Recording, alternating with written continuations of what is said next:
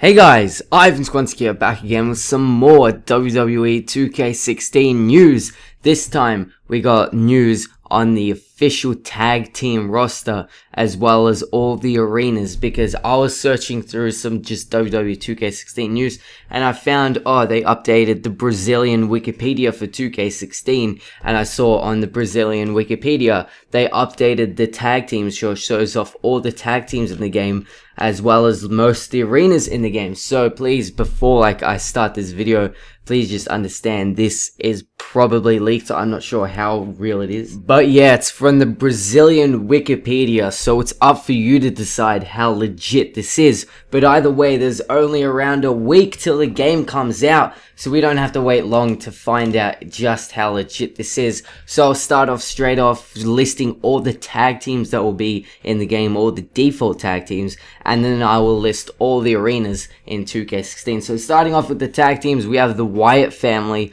which consists of Bray Wyatt, Luke Harper, and Eric Rowan. Then we have the New Day, Biggie, Kofi Kingston, and Xavier Woods.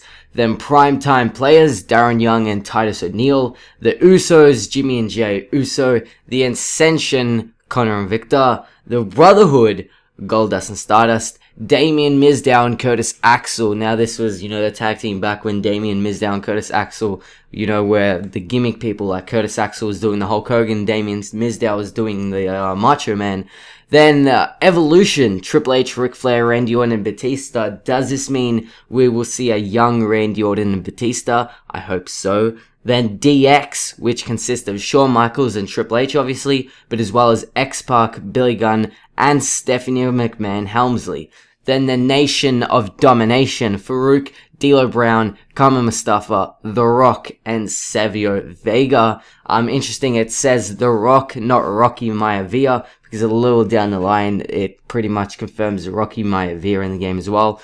Then the Bella Twins, uh, and then the Funkadactyls, Cameron and, and, Naomi. I'm surprised they're a default tag team considering they've been broken up for like two years. Then Cesaro and Tyson Kidd, as well as R-Truth and Xavier Woods. Now, I have no idea why R-Truth and Xavier Woods is a default tag team, but it is. And then over on the, on the NXT side, we have the Lucha Dragons, we have the Vaudevillains, and of course, we have Colin Cassady and Enzo Amore. And also for DLC, we have Blake and Murphy, who are from NXT. Then the Harlem Heat, Booker T and Stevie Ray. I'm excited to play as them. Then the Natural Disasters, Typhoon and Earthquake. Then, this is my favorite, The Outsiders, Kevin Nash and Scott Hall. I'm so excited that Scott Hall is in the game. Then the Bushwhackers. And finally, Los Matadores. So those are all the default tag teams in WWE 2K16. But let's get into the big story, and this is all the sh shows and pay-per-views, all the arenas we know for 2K16. Now I'm guessing that this is in all of the arenas because it doesn't list a lot of them, but still lists quite a bit. So yeah, I'm I'm guessing this is in every single arena, but it's going to be quite a few of them.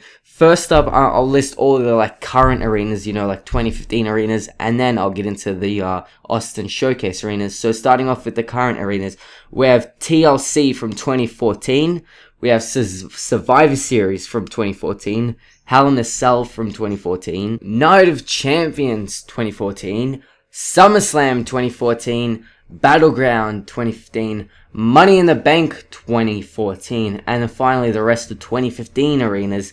Paybacks 2015, Extreme Rules 2015, WrestleMania 31, obviously 2015, Fastlane 2015, Royal Rumble 2015, uh, the Raw SmackDown arenas of 2015, the main event and Superstars arenas of 2015, and then there are two NXT arenas. First, we have the just NXT, and then we have NXT Takeover Rival. So we now know there will be a Takeover Rival arena. We've already seen that in Kevin Owens' entrance. We already know Takeover Rival will be in the game. So those are all the default 2014 and 15 arenas. Next up, let's get straight into the Austin Showcase arenas. Now, I'm guessing these aren't all of them. I'm guessing there's going to still be a lot more just because I know there's going to be heaps and heaps and heaps of Austin uh, showcase matches and this doesn't seem that much, but there still is quite a bit.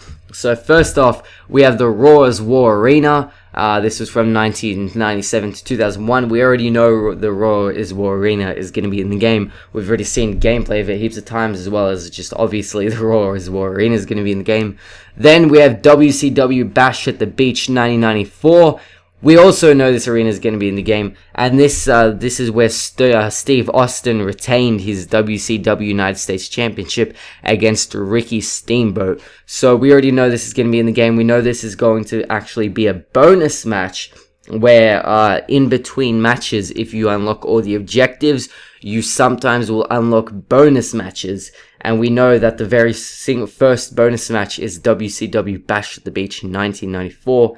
Then the very first match for the Austin Showcase is King of the Ring 1996, which is uh, Steve Austin defeating Jake the Snake Roberts. Now this is where uh, Stone Cold won the actual King of the Ring tournament and cut the famous, you know, Austin 316 just whipped your ass promo. And we know after the King of the Ring uh, Austin Showcase match, if you unlock or if you do all the objectives in this match, then you un unlock the WCW Bash the Beach Arena. Next up, we have uh, St. Valentine's Day Massacre in 1999. This is where Stone Cold was in a steel cage match with Vince McMahon and this is a classic thing where uh, Big Show debuted. It was Paul White, and he debuted. He comes out from under the ring. So yeah, this was uh, Stone Cold versus Vince McMahon in a steel cage match, and we also already know this match will be happening because in the gameplay trailer we saw uh, little snippets of it. So yeah, Stone Cold versus Vince McMahon in the steel cage match at St. Valentine's Day Massacre. So St. Valentine's Day Massacre 1999 arena. Then uh, Backlash 1999 arena as well. And at Backlash 1999, this was where Stone Cold defeated The Rock in a no holds barred match for the WWE Championship with Shane McMahon as a special guest referee. And we now, we also know this match will be in the game as we've also seen gameplay of this as in the same gameplay trailer. We actually saw a little clip of it where, uh, The Rock actually, you know, had the camera and Stone Cold stunned him through the announce table.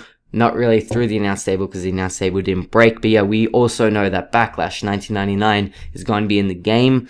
And then also we have Royal Rumble 1999 and in the Royal Rumble match, Stone Cold was part of the actual Royal Rumble match where he was eliminated last by Vince McMahon. So Vince McMahon won the Royal Rumble and obviously Vince McMahon didn't go to headline WrestleMania. Stone Cold did.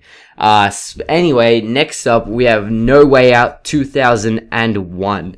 Now this was where Triple H defeated Stone Cold 2 to 1 in a 3 stages of hell match. Now it was a 3 stage of hell of hell match. So the first four was a singles match, the second four was a street fight, and the second, uh, uh, sorry, the third fall was a steel cage match, and this was actually the very first three stages of Hell match in history. So yeah, No Way Out 2001 Arena confirmed, and this is where Triple H defeated Stone Cold 2 to 1 in a three stages of Hell match. Next up, one of my, probably my most anticipated match to play as, and this is WrestleMania 14, where Stone Cold defeated Shawn Michaels for the WWE Championship with Mike Tyson as a special guest referee. Now, my big thing is, is Mike Tyson going to be the special guest referee for this match? I don't actually know because we haven't heard anything about Mike Tyson. He's not confirmed for the game. He's not confirmed as a, as a manager yet. So I'm just wondering, is he actually going to be the special guest referee? I hope so. But yeah, WrestleMania 14 arena confirmed, and this was where Stone Cold defeated Shawn Michaels for the WWE Championship. And this is where most people say the Attitude Era kicked off. Speaking of WrestleMania, how about the very next WrestleMania, WrestleMania 15, where Stone Cold defeated The Rock at a no holds barred match for the WWE Championship. Now, this is the threes, uh, the three WrestleMania matches with The Rock is probably most people's most anticipated matches for Stone Cold. You know, when you think of Stone Cold, you're gonna think his three WrestleMania matches with Stone Cold, and the you know the uh, WrestleMania 15 Rock vs Stone Cold, where Stone Cold actually retained his WWE Championship against The Rock in a no holds barred match. Speaking of WrestleMania, how about WrestleMania 17, where Stone Cold defeated The Rock in a no disqualifications match for the WWE Championship. So yeah, this is WrestleMania 2001, and at WrestleMania 2000, The Rock, uh, not The Rock, sorry, Stone Cold wasn't part of the match, uh, part of the card at all, because he was injured, so WrestleMania 2000 won't be part of the game. But yeah, WrestleMania X7, where Stone Cold defeated The Rock for the WWE Championship in a no disqualification match, uh, is part of the game. Obviously, will be. Uh, I obviously I don't agree with the ending. I still think The Rock should have won this match, but he didn't. Stone Cold did. Speaking of The Rock winning against Stone Cold, how about WrestleMania XIX? And this is where finally The Rock defeated Stone Cold. Also, this was Stone Cold's very last match, so we probably, oh, oh it's probably confirmed that WrestleMania XIX, where The Rock defeated Stone Cold, is going to be part of the game. Why wouldn't it? Obviously, the three Rock vs Stone Cold matches at WrestleMania need to be part of it. But yeah, so the WrestleMania XIX arena, where The Rock finally defeated Stone Cold, is looks to be part of the game. Next up, this is a, this, oh, I don't know how to explain this one. Over the Edge 1998. So, before anyone starts talking about Over the Edge, let me just say this is Over the Edge 1998 and the incident happened at Over the Edge 1999. Now, if you don't know what I'm talking about, at Over the Edge 1999, Owen Hart fell from the rafters to his death.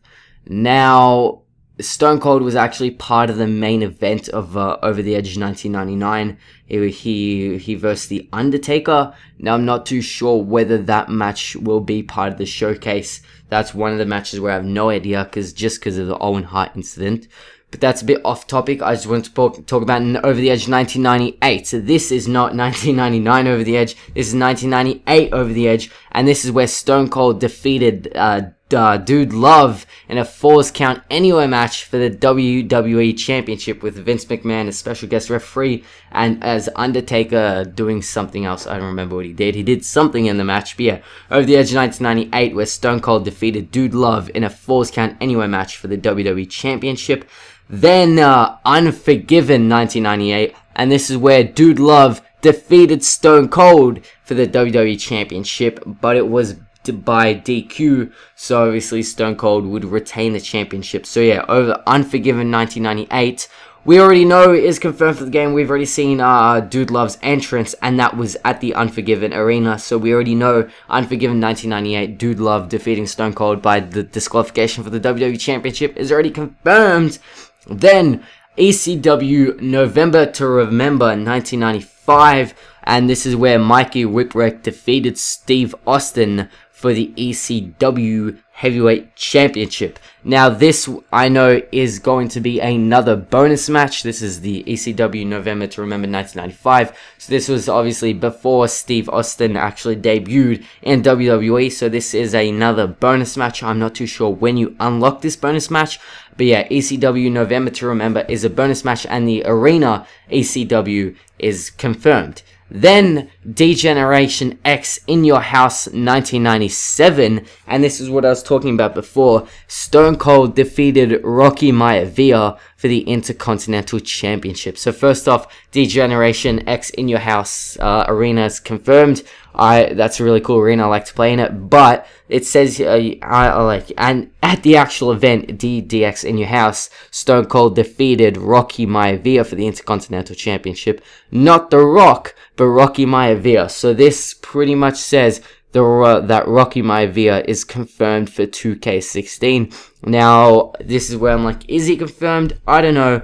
I think uh, I think 2K would have already said by now that Rocky Maivia would be part of the game.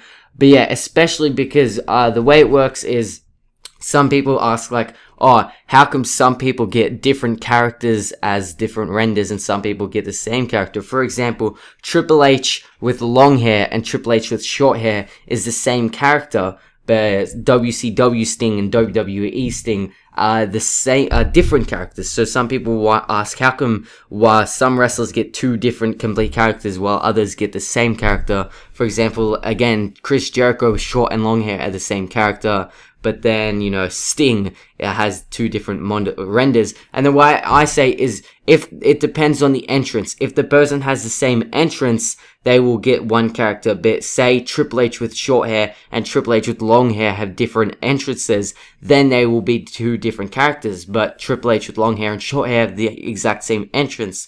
That's why they have the same character. But Rocky Maivia and The Rock, I'm guessing, are going to have different entrances. So I'm wondering how come Rocky Maivia isn't a separate character. I don't know, but either way, D Generation X in your house is confirmed as an arena, I guess. This one is the one where I say, okay, this can't be real. This is where I say this must be completely fake. And it says Armageddon 2000 is confirmed as an arena. Now, if you don't know Armageddon 2000, first of all, you, you're kidding me, right? You haven't watched Armageddon 2000? It's like the greatest match of all time. Uh, Armageddon 2000 it was a six-man Hell in a Cell match with Stone Cold, Rikishi, Triple H, The Rock, Undertaker, and Kurt Angle. Now, this is where I'm saying, obviously, Armageddon 2000 can't happen because, first of all, they don't have uh, a, a six-man Hell in a Cell match, but I'm sure they could edit in. That's not the big reason. The big reason is obviously Kurt Angle was part of the match. Now, some of you might be saying, oh, just I'm sure 2K could have just edited out Kurt Angle and, you know, just replaced him with someone or just made a five-man tag match.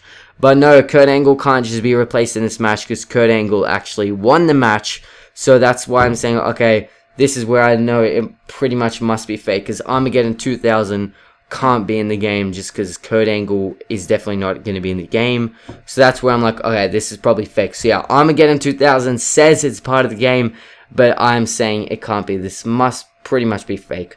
But finally, the last arena it says here is Survivor Series 2000 and this one of my favorite matches of all time. This is Stone Cold versus Triple H in the main event of Survivor Series 2000. First of all, this match was incredible. Um, the whole rivalry between Stone Cold and Triple H was amazing, and the like the biggest thing about this match being part of the game, I'm extremely happy, is that in uh, Survivor Series 2000. Triple H was actually using his My Time theme song, so that pretty much confirms that yeah, Triple H's Triple H will have a separate theme song for My Time, not just the game theme song. So yeah, I really hope My Time theme song will be in the game. But yeah, Survivor Series 2000 uh, will be confirmed for the game, I guess. So yeah, those were most the arenas for 2K16. I know this definitely can't be all of them because I already know Stone Cold vs Undertaker Buried Alive, I, we already know that match is part of the uh, showcase and it didn't mention it here. So there's still going to be a lot more arenas. So yeah, this was from the Brazilian Wikipedia. So please do not confirm this as confirmed. Just take it with a grain of salt because I have no idea whether this is real or fake. So yeah, thanks for watching. I, I, I'm so excited for the game. There's only like a week left. I'm so pumped. So yeah, thanks for watching. I'll catch you in the next one. See ya.